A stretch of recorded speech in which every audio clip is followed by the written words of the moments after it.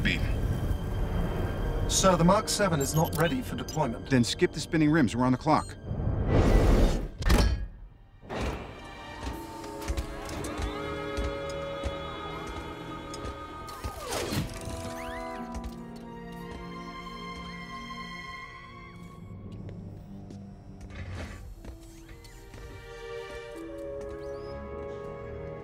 Please tell me you're going to appeal to my humanity.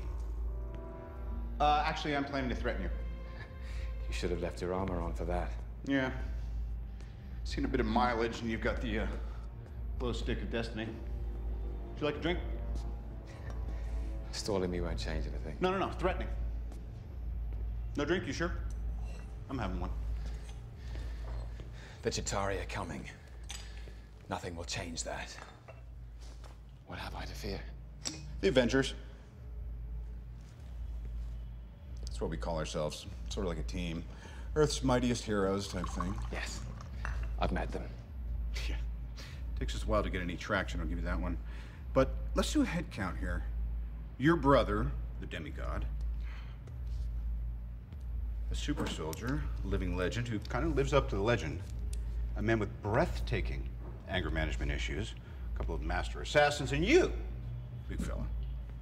You've managed to piss off every single one of them. That was the plan. Not a great plan. When they come, and they will, they'll come for you. I have an army. We have a Hulk. Oh, I thought the beast had wandered off. You're missing the point. There's no throne. There is no version of this where you come out on top. Maybe your army comes, and maybe it's too much for us, but it's all on you. Because if we can't protect the Earth, you can be damn well sure we'll avenge it.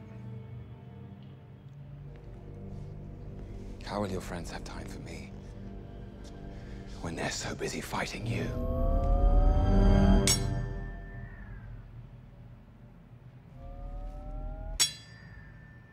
This usually works. Well, performance issues, you know, it's not uncommon. One out of five.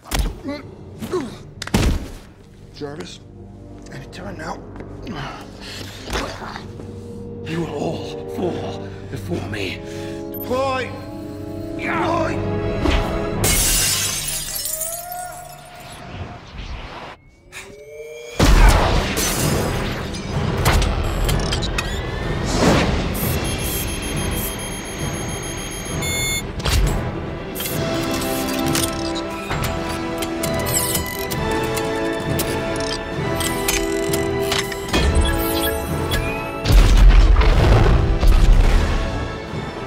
And there's one other person you pissed off.